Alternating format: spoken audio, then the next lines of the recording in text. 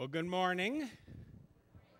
I thought I was going to get off the hook for offering, and I was starting to tug at the bow tie this morning. And then Jenny nudged me and reminded me she'd gotten this one off of ties.com for three bucks. so it's not worth it. I'm, I'm sorry. I, uh, Jenny does love a bargain.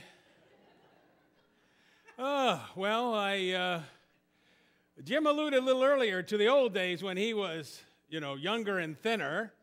Um, I, there are not really many pictures to show you, so you'll have to take my word. But uh, when I was younger, I was about 100 pounds heavier. And uh, there's probably a reason why there aren't many photographs from those days. this was when I was a pastor in Los Angeles. Uh, and uh, before I lost the weight and started running races and stuff. But anyway, uh, the, uh, you know, being a pastor in Los Angeles meant having a lot of odd choices to make that uh, I don't face so much here in Indiana where people are normal and they do normal things. So it's, I, I like it here. But I do remember one time I had a phone call. Uh, I was uh, one of the officers in the local civic association for Ladera Heights. Ladera Heights, uh, which is where my first church was at, is an African American community, very upscale, and uh, you know, so I knew a lot of the people in the community. And Clarence calls me out of the blue. Now, Clarence is in his late 60s at that point. I, being in my uh, 20s, thought that was old, and now that I've now that I've kind of turned over and I'm within hailing distance of his age, uh, you know, I know better. But Clarence had had a triple bypass uh, in a day when that was a rarity. And Clarence was reading the scripture at his home. He didn't go to any church at all, and he said, Frank, I was just reading the passage about the Ethiopian eunuch where this court official says, There is water here. What is stopping me from being baptized? And I couldn't think of a single reason. And I kind of knew this might be going somewhere. I said, Really? And he said, Yeah, you have a baptistry. Can you baptize me right now?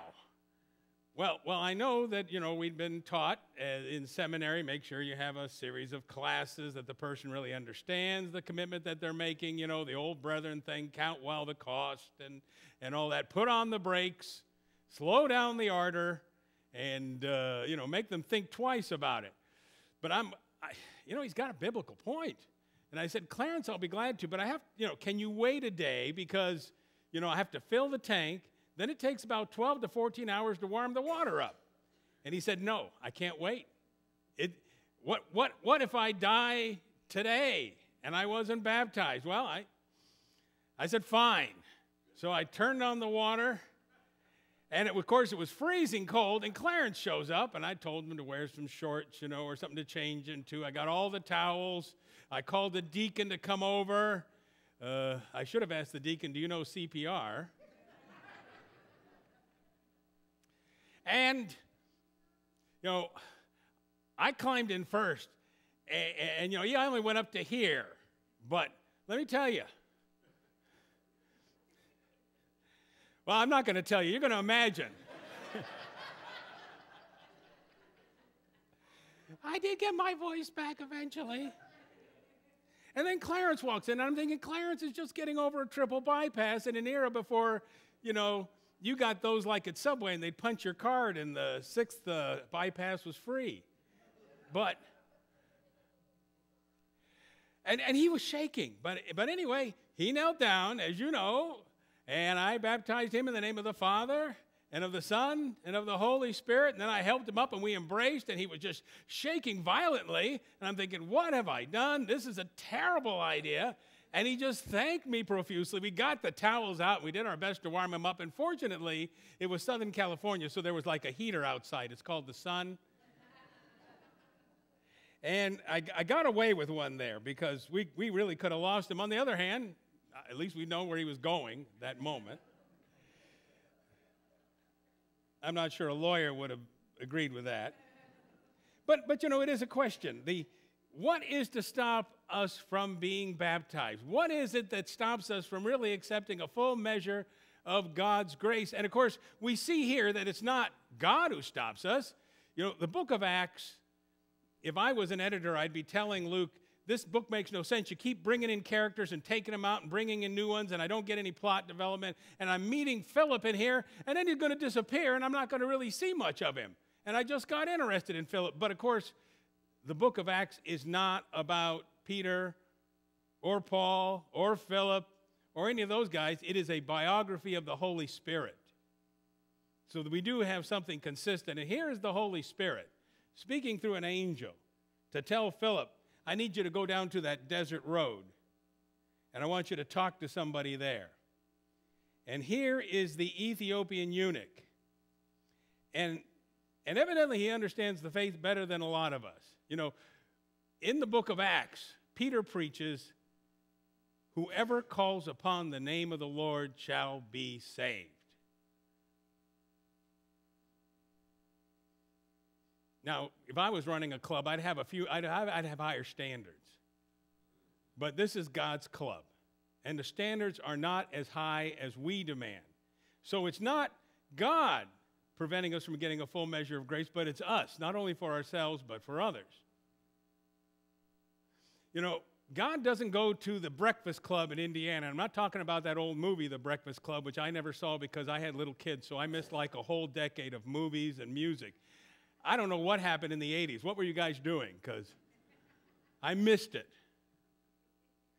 But the Breakfast Club I'm talking about is all the old guys that meet at the diner. Every one of them has two, three, four, or five bypasses, and they still order bacon and eggs. And it does not say in the book of Joel that everybody who has had a bypass and, and stops eating bacon and eggs will be saved. It doesn't say that there. You know, it doesn't say that if the pastor loses 100 pounds and gets closer to 200 from 300, then he can be saved. It doesn't say. And you fill in the blank for your besetting problem, the one you really struggle with. It doesn't say that you have to get your blood sugar down to an acceptable norm before you can be saved. So here we got somebody. The Ethiopian eunuch had gone all the way to Jerusalem to worship. We know that there were God's people in Africa at that time. There was a major synagogue in the, in the island of Elephantine, which was right on the Ethiopian border. And there are archaeological remnants of other ones and not only that, but by the time the 20th century rolled around, there was a whole culture of people that knew the Torah, knew God's law, and had been keeping it preserved for centuries. So we know it was out there. And this is a man who has a lot of good sense. He can, you know, I go through the bank line and I have to tell them to check my math because I majored in the humanities. he knows his business mathematically, but he's come up against a stone wall. He's reading a papyrus roll, which would be a very expensive item, by the way, of Isaiah. And he has gone to Jerusalem to worship, and he couldn't get closer than the outer court. Because as a sexual being, he wasn't part of the norm. The Ethiopian eunuch was not worthy of worshiping with God's people because he was not part of the sexual norm. And Philip is not given instruction by the Holy Spirit. Get this guy's act together physically. Make him like the rest of us before he can be saved. He's just told, and I don't know how he did it, run alongside that, that chariot. But he does. And the eunuch accepts this as normal. Philip says, Do you know what you're reading? And he says, How is it possible if nobody, if not somebody, guides me. And that's the word for guide because this word here is, is, is composed of the word for road and going. If somebody doesn't go along this road and show me which way I'm going, if somebody doesn't tell me where I turn, what's it about? It's about Jesus suffering. It's about the fact that no matter where we go, Jesus has already been.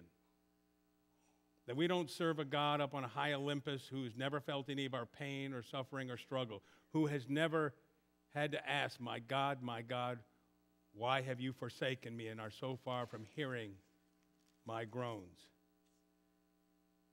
And the eunuch asks a good question Is the prophet talking about himself or somebody else? And Philip makes it clear it's pointing to Jesus. And your suffering and your feelings of unworthiness and your struggle that you don't measure up, or people have told you that members of your family don't measure up, or some busybody has put up hoops for you to jump through, or hurdles that get higher and higher. None of that matters. None of that's here. And when the Ethiopian hears this, he says, Behold, water. What is stopping me from being baptized? And the answer is nothing. I don't write this stuff because I'd really rather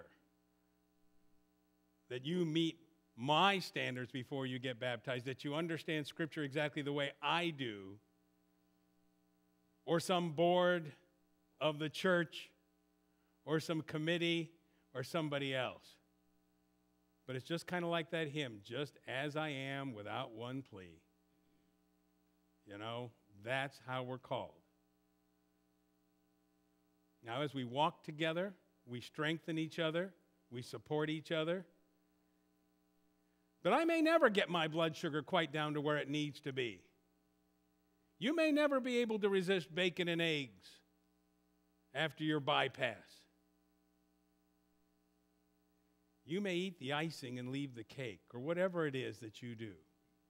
And maybe the person in the next pew is never going to measure up to your standards. But the blessing here in this scripture is that God wants us so desperately that He's going to start with you the way you are. And then trust me, we will all be transformed. Who is outside our circle? What barriers have we put up? Let's just make the circle even wider and wider. And take a big step back from judgment and recognize that Jesus came to save everybody. And with your open hearts, we just might do it. Amen.